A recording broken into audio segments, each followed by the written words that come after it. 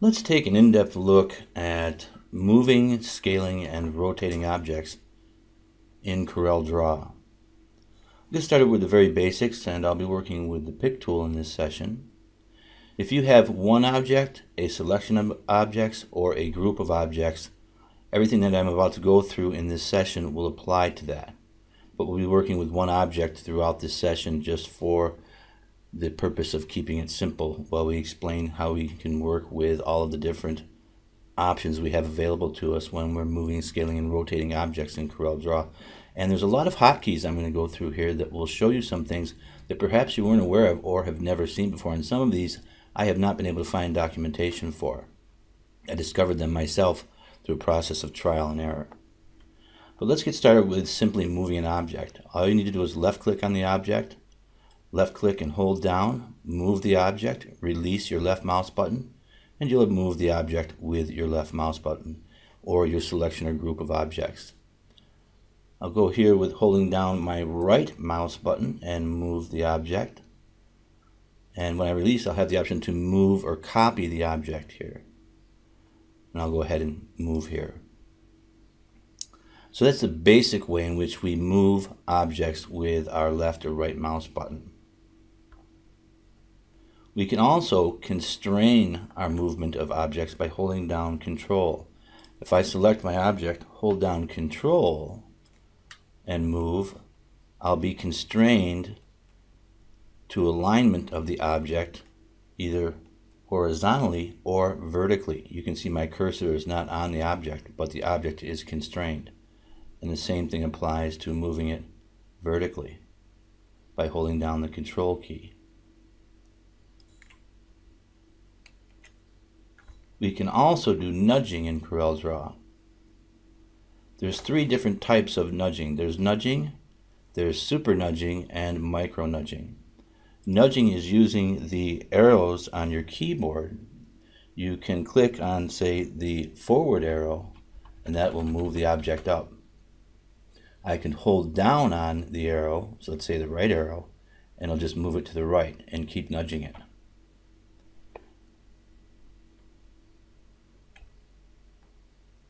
Now, if I do nudge holding down the shift key, I'll do a super nudge, and that's actually more distance or moving the object further than the regular nudge.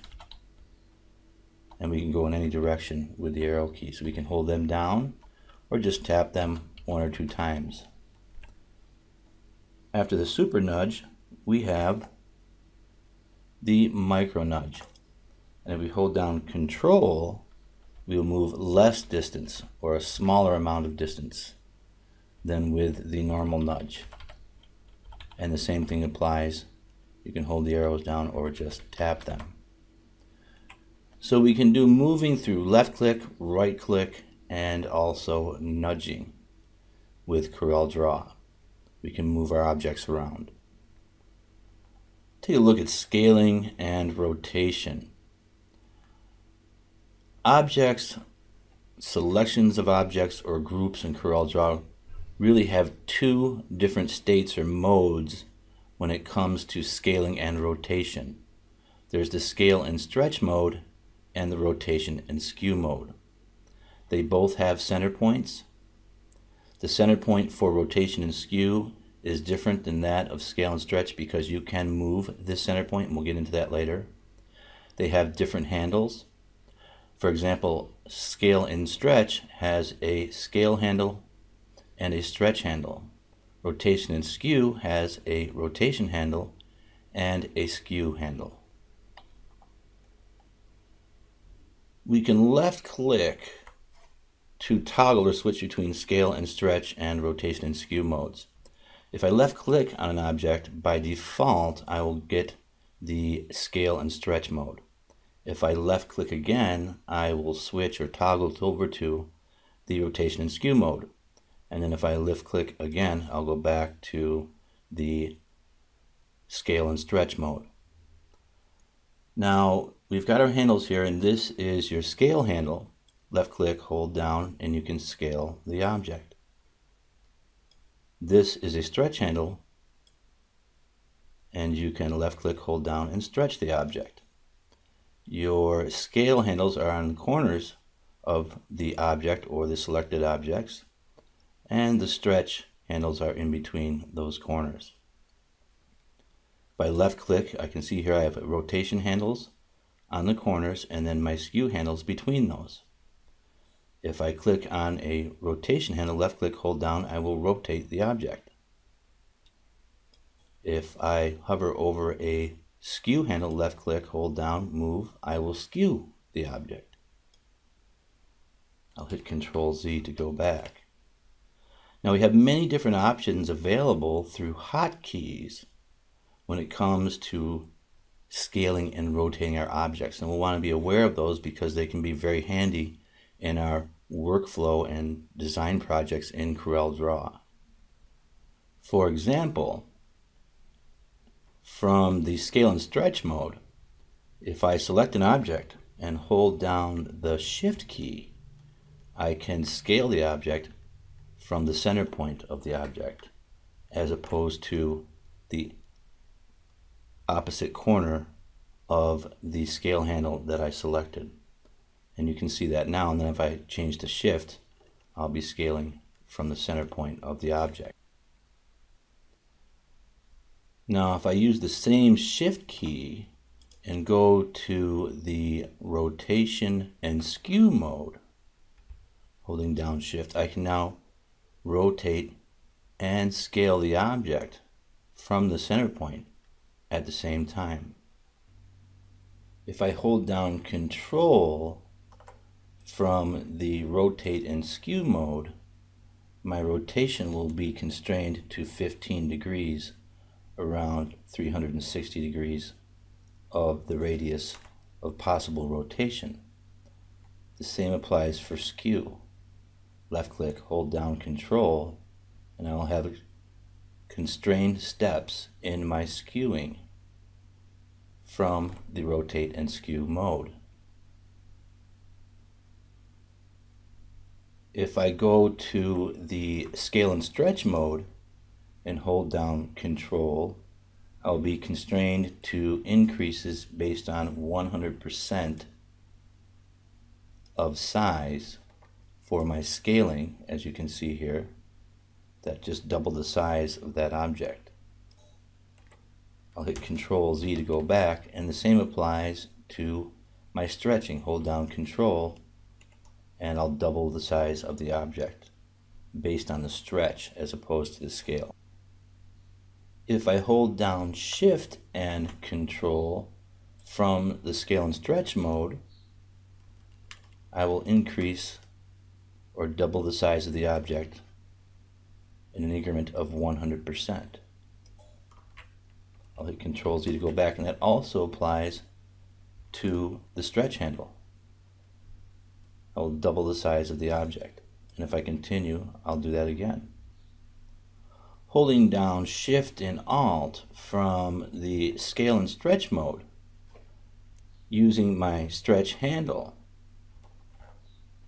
From the center point, I will mirror and equally expand or stretch the size of my object either horizontally or vertically.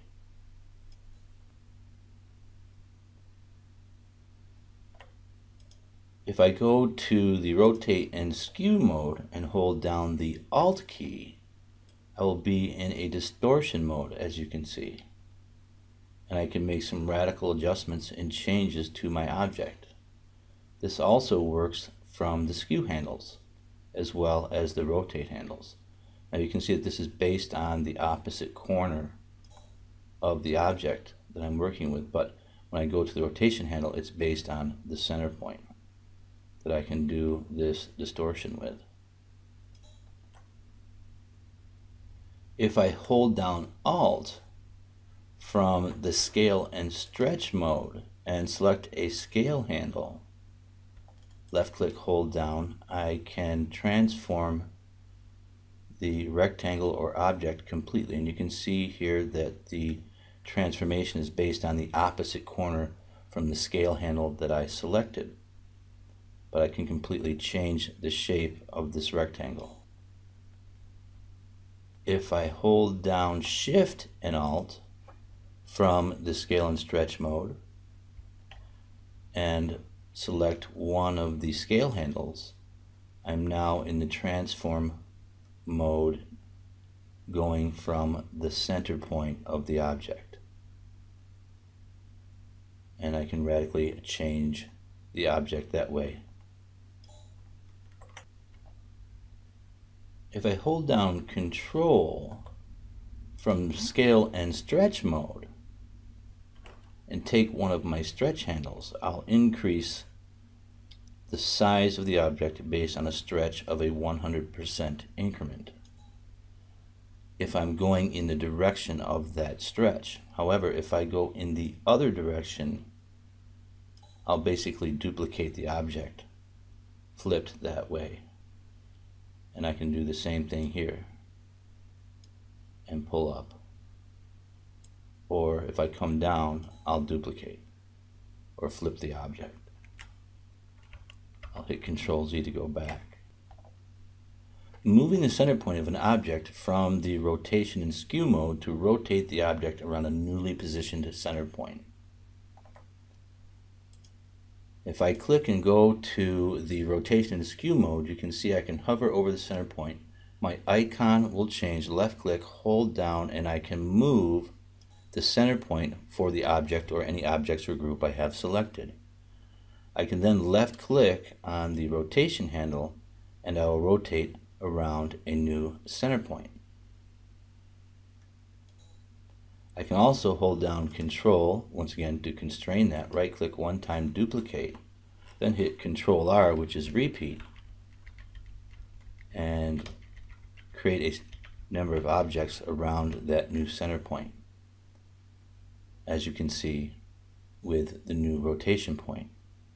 So you can see there are a lot of hotkeys that we can work with and options that we have available to us when we're doing our rotating and scaling and moving objects in CorelDRAW. We want to be aware of all these so we can use them in our design projects and our production artwork. And some practice with these, you'll become very accustomed to them, you'll be able to use them, and then you'll see opportunities where you can use these techniques in your design process, in your production artwork, etc., working in CorelDRAW. We'll go ahead and wrap here and we'll continue in our next tutorial session.